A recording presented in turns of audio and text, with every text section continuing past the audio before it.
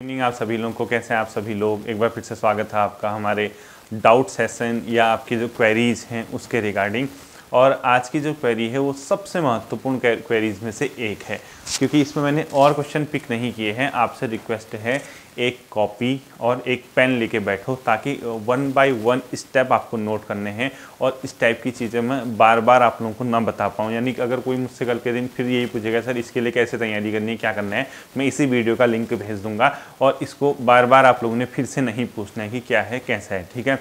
ये जो क्वेरी है, या मतलब और भी क्वेश्चन आए हैं इसमें, लेकिन मैंने आज एक ही चीज़ पिक किया है, वो है आर ओ ए आर ओ जो सेक्रेटरीट और जो यू के पी एस सी के लिए आएँगी भर्ती, यानी समीक्षा अधिकारी, सहायक समीक्षा अधिकारी, यानी रिव्यू ऑफिसर और असिस्टेंट रिव्यू ऑफिसर की जो भर्ती आने वाली है यू के पी एस सी के माध्यम से जो आएगी, उसकी भर्ती प्रक्रिया, उसके पैटर्न को लेके, उसके सोर्स को लेके, उसके स्टेप को लेके, उसकी तैयारी को लेके कम्प्लीटली 10 से 12 मिनट का डिस्कशन मैं आप लोगों के लिए करता हूँ और उसके बाद आपको बताता हूँ क्या करना है, कैसे करना है, ठीक है? देखिए, विज्ञप्ति कब आएगी? पहला क्वेश्चन है ना? तो देखो, अध्याचन गया हुआ है। अभी गवर्नमेंट फॉर्म हो जाएगी नहीं तो उसके बाद होपफुली जो यूपीपीएससी के माध्यम से पहली भर्ती आएगी, वो आर ओ की ही आनी चाहिए। यानी हम लोग कह सकते हैं कि मार्च एंड या अप्रैल स्टार्टिंग स्टार्टिंग तक कहीं ना कहीं आर ओ की भर्ती आपको देखने को मिल सकती है। इसकी प्रबल संभावनाएँ हैं, ठीक है? नहीं भी आएँगी, मई मई के महीने तब भी आएँगी, नहीं आएँगी, जून में तब भी आएँगी, क्योंकि देखो विभागों में पद खाली हैं और अध्याचन अगर गया है तो निश्चित तौर पर मान के चलिए वो भर्ती पक्का आएगी आपके लिए, ठीक है? वो आती है क्योंकि दो हज़ार सोलह में इससे पहले आई थी, अब दो हज़ार बाईस आ चुका है तो पाँच छः साल हो चुके हैं बहुत से पद खाली भी होंगे गवर्नमेंट ने अध्याचन भी अगर भेजा है तो उम्मीद है कि अप्रैल या मई में या आप मान के चलिए मार्च एंड कभी ना कभी आपको विज्ञप्ति देखने को मिल जाएगी। तो हम ये नहीं सोच सकते कि यार हम विज्ञप्ति आएगी तो उसके बाद हम उसकी तैयारी करेंगे। तो हमें जब निकालना ही है, एक कंफर्ट जॉब जो है, क्योंकि देहरादून की जॉब है सेक्रेटरीट की जॉब है ट्रांसफ़र नहीं होना है फाइव डे वीक है दो दिन आपको वीकली मतलब आ, क्या रहता है सैटरडे संडे ऑफ़ रहता है। तो हर कोई चाहता है कि कंफर्ट जॉब पाए वो और देहरादून की जॉब है तो वो ट्रांसफ़र भी नहीं होना है। तो कई चीज़ें हैं फ़ायदे हैं उसके भी और जॉब भी अच्छी है जॉब प्रोफ़ाइल भी सब अच्छा है। तो वो तो बात की बात है वो तो हम फिर करेंगे। पहला चीज़ है सिलेक्शन लेने को लेकर और प्रोसीजर क्या है ठीक है? देखिए जो उसका कौन उसके फॉर्म को फिल कर सकता है पहले ये बताता हूँ। 21 वर्ष से बयालीस वर्ष तक की उसमें एज रहती है जनरल कैटेगरी की ठीक है? यानी क्वालिफिकेशन उसकी जो है ग्रेजुएशन है और आपको आ, किसी भी स्ट्रीम से हैं आप बी कॉम से हैं आप बी एस सी किए हुए हैं आप बी टेक हैं आप बी ए हैं इससे कोई फ़र्क नहीं पड़ता। आपके सब्जेक्ट क्या हैं, इससे कोई फ़र्क नहीं पड़ता।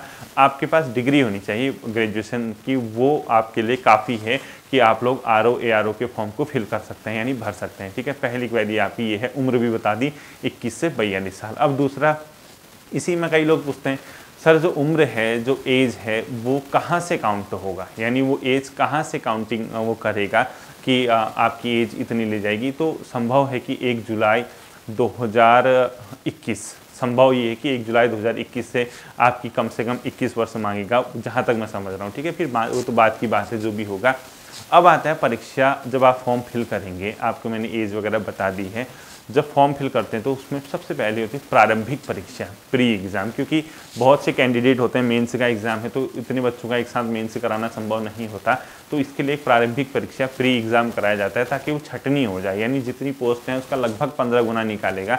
यानी अगर आपकी डेढ़ सौ पद दोनों जगह आते हैं यू और सचिवालय मिला के, उसको पंद्रह से गुना कर दो। लगभग इतने आपके मेन्स के लिए बच्चे सेलेक्ट होते हैं। अब सबसे पहली बात आती है प्री प्री का सिलेबस क्या होगा? प्री रहता है आपका डेढ़ सौ नंबर का one hundred and fifty number का, दो घंटे का पेपर होगा, उसमें लगभग आपकी तीस नंबर की आती है रीजनिंग यानी मैथ और रीजनिंग का पोर्सन मिला के तीस, उसमें भी ज़्यादा जो वेटेज होगा, वो रीजनिंग का होगा, लगभग 18 से 20 क्वेश्चन रीजनिंग के कुछ क्वेश्चन हल्के फुल्के मैथ से आएँगे, बहुत हार्ड नहीं आती हाई स्कूल लेवल के कुछ क्वेश्चन आएँगे, वो नहीं भी आता है जिसकी मैथ रीजनिंग कमज़ोर भी है तो फिर उसके लिए बाकी का जो 120 नंबर का पोर्सन है, उसमें उत्तराखंड प्लस जीएस है। यानी उत्तराखंड प्लस जीएस प्लस आपकी जो तीसरा है मैथ और रीजनिंग वाला पोर्सन इन सबको मिला के डेढ़ नंबर की आपकी एक प्रारंभिक परीक्षा होगी, जिसके आधार पर कट ऑफ़ बनेगी और आप लोग मेन्स एग्ज़ाम के लिए सिलेक्ट होते हैं। तो अब कोई कहेगा, सर कट ऑफ़ कितनी जाती है? ये बताने की बात नहीं है। अब वो तो डिपेंड करता है। लगभग हर कोई यू के एग्ज़ाम में हंड्रेड मार्क्स के आसपास सेफ़ रहता है, इतना मैं बता दे रहा हूँ। नाइन्टी फाइव से अब अब जितने भी छात्र निकलते हैं यू के के प्री एग्ज़ाम में, वो लगभग सेफ़ रहते हैं, ठीक है? अब वो तो बात की बात है कि कितनी कट ऑफ़ जाएगी, क्या जाएगी, वो बताने की बात नहीं है। तो पहला चरण ये रहता है। अभी बुक अलग से बताऊँगा, ठीक? उसके बाद जब आप पंद्रह गुना के आसपास निकलते हैं, आप मेन्स एग्ज़ाम के लिए बैठते हैं, प्री का रिज़ल्ट आपका ढाई से तीन महीना जब भी आता है, उसके बाद मेन्स एग्ज़ाम के लिए आप लोग सेलेक्ट होते हैं तो मेन्स का फॉर्म भरवाया जाएगा और छः सात महीने के अंदर आपका प्री के रिज़ल्ट के बाद मेन्स एग्ज़ाम होगा। मेंस के एग्ज़ाम में आपके तीन चरण रहते हैं। कितने चरण रहते हैं? तीन। यानी तीन स्टेप आपके किसके रहेंगे? मेंस के एग्ज़ाम के रहेंगे और मेंस में पहला पेपर आपका जीएस का होता है। जीएस का जो होगा, वो क्या रहेगा? आपका हंड्रेड मार्क्स का जीएस का पेपर होगा, जिसमें एमसीक्यू बेस्ड होंगे। यानी क्वेश्चन जो होंगे, मल्टीपल चॉइस क्वेश्चन बेस्ड होगा, इसके अलावा कुछ भी नहीं होगा और उसमें उत्तराखंड प्लस जीएस आएगी, हंड्रेड मार्क्स की। इसके अलावा कुछ नहीं आएगी। आपको सेकेंड स्टेप लिखना है, ठीक है? प्रथम चरण में आपने प्री का पैटर्न लिखा होगा। प्री में क्या क्या आना है। सेकेंड स्टेप आपका लिखना है मेंस का चरण मेंस में तीन पेपर होने हैं। पहला पेपर जीएस का, जिसमें जीएस प्लस उत्तराखंड एमसीक्यू के आधार पर रहती वही उसका सिलेबस है। आज तक तो चेंज नहीं हुआ है। आगे चेंज होपफुली कि नहीं होगा, यही उसका पैटर्न रहता है। जो जनरल एग्ज़ाम होता है आर ओ का, उसके बाद दूसरा पेपर उसमें हिंदी ड्राफ्टिंग का होता है। वो रहता है आपका सौ नंबर का, ठीक है? बुक सोर्स अभी बताऊँगा। उसमें चार पाँच क्वेश्चन लेटर राइटिंग के आते हैं और बीस नंबर की उसमें वर्ड मीनिंग आती। है दस हिंदी से इंग्लिश में ट्रांसलेशन और दस का इंग्लिश से हिंदी में मतलब वो वर्ड मीनिंग दस हिंदी के इंग्लिश में लिखने होंगे और दस इंग्लिश से हिंदी में दिए होंगे, पंद्रह पंद्रह कुछ ऐसे दिए होंगे। आपको कोई भी दस सेलेक्ट करने होंगे हिंदी से इंग्लिश लिखने के लिए और कोई दस आपको इंग्लिश से हिंदी, वो कौन से टर्मोलॉजी रहती है, कौन से वर्ड मीनिंग रहती है, वो मैं कराऊँगा। फिकर लेने, करने की कोई ज़रूरत नहीं, जितने मैं आपको वर्ड मीनिंग कराऊँगा, बीस में से पंद्रह, सोलह, सत्रह, अठारह पहुँच जाओगे आप उतने से अगर आप लोग उसको याद कर पाते हैं तो ठीक है। दूसरा हिंदी के पेपर के बाद तीसरा पेपर आपका रहता है एसए राइटिंग का। तीन ऐसे आपको लिखने होते हैं, निबंध लिखन, सौ नंबर का वो पेपर होता है। तीन ऐसे राइटिंग उसका सिलेबस दिया होता है कि ये ये सिलेबस के टॉपिक हैं, इसमें से आपको ऐसे आएगा और उसी के इर्द गिर्द ऐसे आता है और मैं आपको बता दूँगा बहुत अच्छे से कि ऐसे राइटिंग कैसे तैयार करोगे, क्या करोगे, वो बात की बात है, ठीक है? जब आपका मेंस कंप्लीट हो जाता है तो चार पाँच महीने पाँच छः महीने के बाद आपका मेंस का रिज़ल्ट आता है। उसके बाद आपके एक टाइपिंग टेस्ट होता है, ठीक है? क्या होता है? टाइपिंग टेस्ट होता है जिसमें बेसिकली हिंदी टाइपिंग पास करनी होती है। इंग्लिश टाइपिंग आपका सिर्फ़ किसके लिए दिया था वेटेज मतलब कभी इक्वल मार्क्स आ गए तो इंग्लिश टाइपिंग जिसने की तो उसको सेलेक्ट करते हैं। वो कंपलसरी नहीं है, ठीक है? अब वो जो हिंदी टाइपिंग है, उसकी स्पीड मात्र चार हज़ार कीवर्ड होती है। तो आपको बहुत ज़्यादा टेंशन लेने की ज़रूरत नहीं है। टाइपिंग आप आप कब करोगे? जब आप मेन्स का एग्ज़ाम दे चुके होंगे। यानी आपके पास इतना समय मिलता है मेंस एग्ज़ाम देने के बाद कि आप उसके बाद टाइपिंग करोगे और टाइपिंग के लिए कब होता है टाइपिंग? मेंस के रिज़ल्ट के बाद। कई बच्चे को कन्फ्यूज़न रहता है कि क्या सर टाइपिंग मेन्स के साथ साथ ही होगा या अलग से वो मेन्स का रिज़ल्ट आउट होता है। उसमें जो सेलेक्टेड कैंडिडेट है, उसमें एक टाइपिंग टेस्ट होता है। चार हज़ार की उसमें बहुत स्लो स्पीड है। वो मैं आपको बता दूँगा कैसे करना है, कौन से सॉफ्टवेयर से करना है, कैसे उसको आप लोग करोगे। बहुत हल्का मतलब जैसे उंगली से टाइप करके होता है ना ऐसे ऐसे चार हज़ार ऐसे बन जाता है हिंदी में, अगर एक बार आप एक से डेढ़ महीने की प्रैक्टिस करोगे तो बहुत आसान। उसका पैनिक लेने की ज़रूरत ही नहीं है। अभी तक टेंशन लेने की ज़रूरत है कि मेन से क्लियर करना ठीक है? उसके बाद आपका सौ नंबर का एक कंप्यूटर प्रैक्टिकल होगा, वो साथ ही होगा। टाइपिंग और वो साथ ही होते हैं, ठीक है? वो अलग अलग नहीं होते, वो दो चीज़ें एक साथ होंगी टाइपिंग प्लस कंप्यूटर प्रैक्टिकल वो हंड्रेड मार्क्स का एक पेपर होगा, उसमें पाँच क्वेश्चन होते हैं, पाँच के पाँच क्वेश्चन आपके सिलेबस में दिए होंगे टॉपिक दिए होंगे, ये क्वेश्चन ये क्वेश्चन बीस बीस नंबर का होगा, आपको कंप्यूटर के आगे बैठाया जाएगा, उसमें क्वेश्चन लिखा होगा कि एम एस वर्ड खोलो, उसमें ये शब्द लिखो, इसको बोल्ड करो, इसको इटैलिक करो, इसका प्रिंट आउट निकालो, कुछ ऐसे प्रैक्टिकल करना होगा, बहुत हल्की चीज़ है, वो सब हो जाएगा, वो मेन्स के एग्ज़ाम के बाद की बात है, उसका अभी टेंशन लेना ही नहीं मतलब अभी भूल जाओगे वो भी होता है और इससे डरने की ज़रूरत नहीं सबसे हल्की चीज़ है क्वालिफाइंग है वो। चालीस नंबर लाने होते हैं, उसमें वो क्वालिफाइंग ना उसके मार्क्स से जुड़ता है, ना कुछ होता है। वो मैं बता दूँगा आपको कैसे करना है, क्या करना है, ठीक है? ये जब टोटल प्रोसीजर से आप गुजरते हैं टाइपिंग और ये जो कंप्यूटर प्रैक्टिकल है, ये सिर्फ़ और सिर्फ़ आपका क्या है क्वालिफाइंग नेचर का है। अगर आप क्वालिफाई कर जाते हैं तो 300 नंबर का जो आपका मेन्स हुआ है, इसके आधार पे आपकी मेरिट बनती है फाइनल और इसी आधार पे आपका सिलेक्शन होता है, ठीक है? आप secretariat R O secret P S C R O secretariat A R O U K P S C R O इन चार पदों पर कहीं भी सेलेक्ट हो सकते हैं अपने मेरिट के आधार पर ठीक है? फिर उसकी प्रेफरेंस वगैरह मानी जाती है मांगी जाती है। अब रहता है सर बुक सिलेक्शन क्या हो? ठीक है प्री से शुरू करते हैं। देखिए जीएस आपको डिटेल पढ़नी है। क्यों पढ़नी? क्योंकि मेंस में आपका पहला पेपर सौ नंबर का जीएस ही है। और जीएस नहीं पढ़ोगे तो मेंस ले डूबेगा आपको, क्योंकि हिंदी और ऐसे से बहुत ज़्यादा फ़र्क नहीं पड़ने वाला है। ऐसे राइटिंग में लगभग एवरेज मार्क्स से लेके आते हैं। कोई साठ लाएगा, कोई पैंसठ, कोई पचपन, कोई चौंसठ, कोई तिरसठ, कोई सत्तर, इसी प्रकार से आएँगे निकलने वाले बच्चों के, ठीक है? हिंदी रटे रटाए क्वेश्चन है। अब तो कंपटीशन इतना बढ़ गया, क्योंकि हिंदी का पेपर तो आपको मैं ही कराऊँगा, सौ नंबर तो वही मैंने कराने घर बैठे आपकी हिंदी सौ नंबर तैयार हो जाएगी तो सभी बच्चे उसी टाइप का पढ़ेंगे तो हिंदी भी बहुत ज़्यादा डिफरेंस नहीं क्रिएट करने वाली। करेगा तो सब जीएस ठीक है?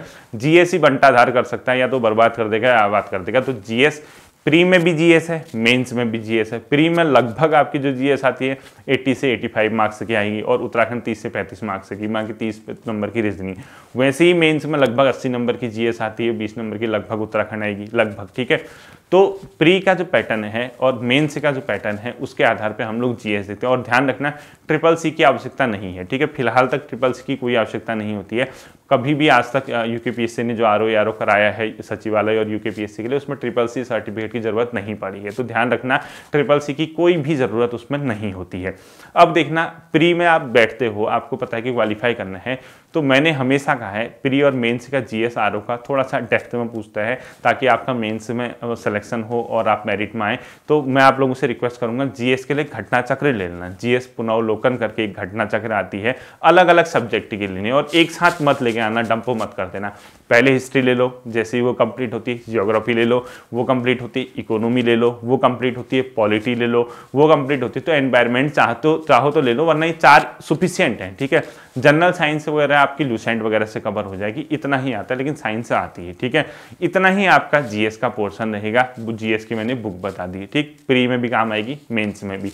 उत्तराखंड, कोई ज़रूरत नहीं परीक्षा वाणी और विंसर ईयर बुक के अलावा कुछ पढ़ने की, अगर आप मेरे छात्र हैं, जिला सीरीज़ और इंडिविजुअल टॉपिक और उत्तराखंड हिस्ट्री पढ़ी तो काफ़ी है। इसके साथ एक परीक्षा वाणी पढ़नी है, विंसर ईयर बुक पढ़ लेना। इसके अलावा कुछ भी नहीं पढ़ना है। उत्तराखंड का काम हो गया।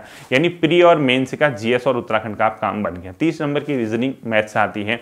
जिस बच्चे की रीजनिंग मैथ्स अच्छी है, उसको तो कोई दिक्कत नहीं है। जिसकी नहीं है, बेसिक क्वेश्चन करके जाना। कैलेंडर, घड़ी वगैरह, जितना आपसे आ पाता है, बहुत पैनिक लेने की ज़रूरत नहीं है उसके। ठीक है, वो मैं करा दूँगा। जब विज्ञप्ति आएगी, रीजनिंग के मेन मेन टॉपिक आपको करा दूँगा। ठीक?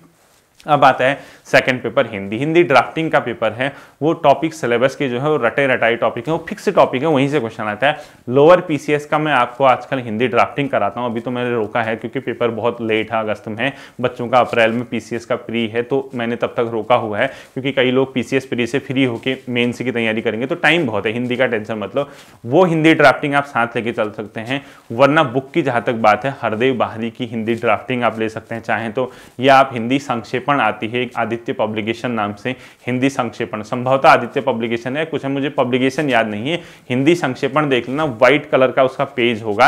अब इलाहाबाद पब्लिकेशन इलाहाबाद से कहीं से निकलती हिंदी संक्षेपण अगर आप कहीं पूछोगे बुक स्टोर वगैरह में आपको मिल जाएगी, नहीं मिलेगी तो मैं आपको टेलीग्राम वगैरह में भेज दूँगा।